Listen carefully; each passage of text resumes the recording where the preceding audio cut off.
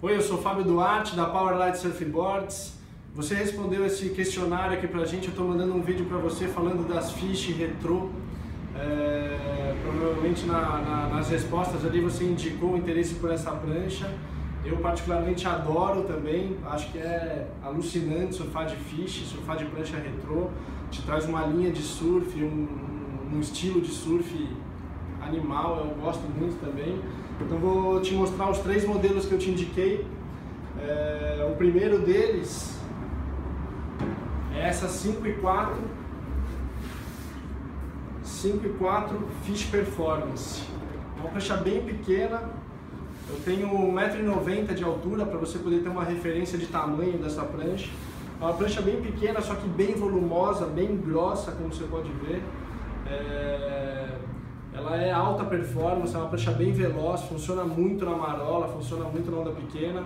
É, o pessoal que é mais leve, por exemplo, que pesa 70, 75 quilos, usa ela em praticamente qualquer condição, até um metro, um metro e meio. Eu, por ser mais pesado, estou pesando 86 quilos, eu surfo com ela só numa onda bem pequena, de meio metro, meio metrão no máximo, porque aí me falta um pouco de tamanho de prancha. É, mas é uma prancha incrível, com alta performance. Tem o um vídeo do Guga que eu mandei para vocês aí também, surfando com ela em alta performance. E pô, recomendo muito também esse modelo.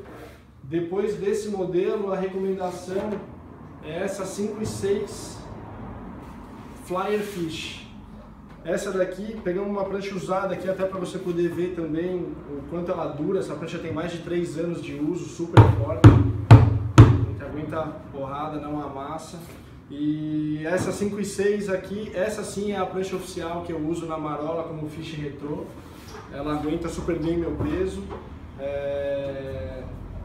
Pô, essa daqui é a mais larguinha de todas, né? Ela tem 21 de largura, tem 2,5 de espessura. É uma prancha alucinante, tem um drive de borda incrível, é a prancha que o Sérgio Laus e o Guga usam na Pororoca, com uma onda mais gordinha, com surf mais de borda. É a segunda opção que eu recomendei aí para vocês. A terceira e última também tem 21 de largura, também tem 2,5 de espessura, igual a 5 e 6 que eu acabei de mostrar. A diferença é que a rabeta dela é round. Ela é uma prancha retrô também, é uma prancha para quase qualquer condição. Por ela ser round, ela aguenta um mar um pouco maior também, funciona numa condição é, que uma pranchinha já, já entraria na jogada, ela ainda está atendendo bem, acima de meio metrão, acima de um metro até, ela funciona bem. É uma prancha volumosa, larga, mas que tem um estilo retrô.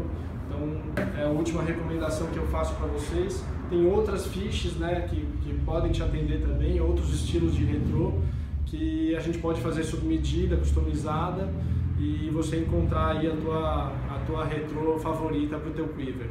É isso, bora para a água, obrigado, até a próxima.